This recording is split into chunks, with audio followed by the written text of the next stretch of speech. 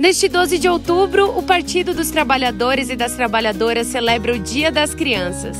Com a certeza de que juntos estamos lutando por um futuro de oportunidades, crescimento e múltiplas possibilidades para todas as crianças do Brasil, garantindo acesso à educação e saúde públicas gratuitas e de qualidade, colocando comida na mesa, promovendo a cultura, o esporte e o lazer e, sobretudo, garantindo que criança possa ser criança. É nisso que o PT acredita e esse é o jeito PT de governar. Muito prazer!